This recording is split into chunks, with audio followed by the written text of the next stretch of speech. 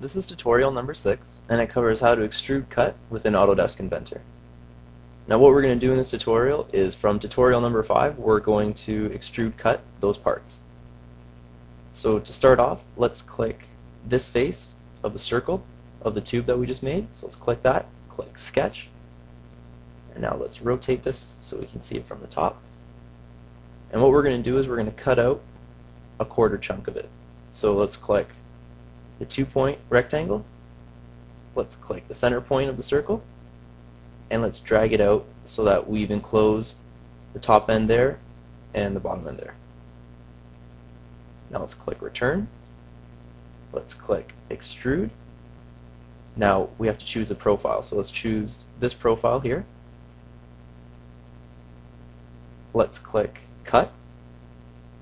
And for the distance, let's make it 200. Now let's rotate this around to see what it looks like. And you can see that it's the red box is going through the tube there. Now let's make this distance a little bit more so we make it go all the way through. Let's make it 300. Let's make it a little more. Let's make it 500. Click OK. And now if we rotate this around, we can see that we cut through that chunk of the circle. Now let's unclick that. And if we want that circle, that chunk to come back, all we have to do is right click extrusion 6, which we just did, which is the cut, click delete, click OK, and it's back to where it was. Now let's go to this square.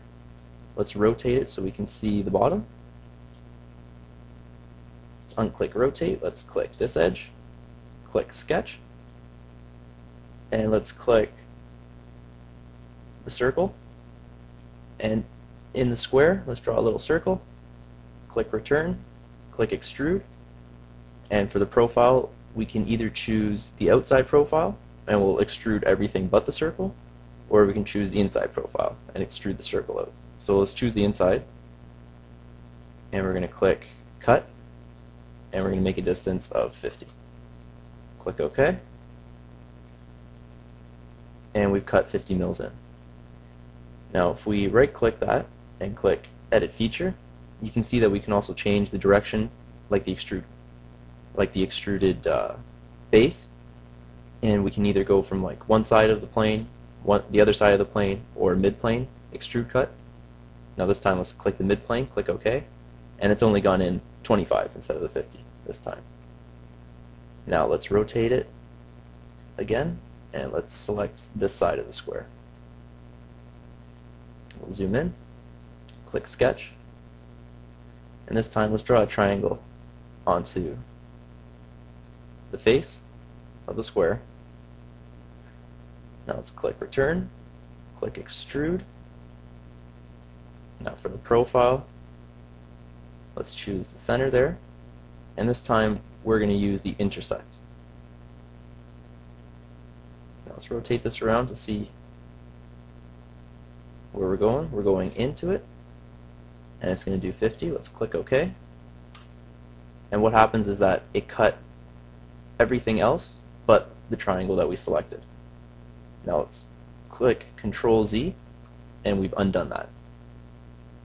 So let's click Edit. Let's click the Extrude again, and we'll click the Intersect again.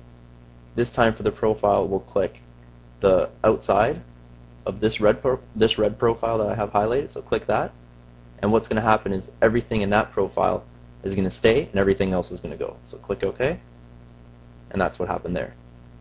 So let's click Control Z again, click Extrude, and that's what the intersect does. It takes what you've selected is going to stay, everything else gets cut out. And with the cut, what you select goes, and everything else stays. So they're pretty much the opposites of each other. So let's click the triangle. Let's do the cut. Click OK. And we've cut into it.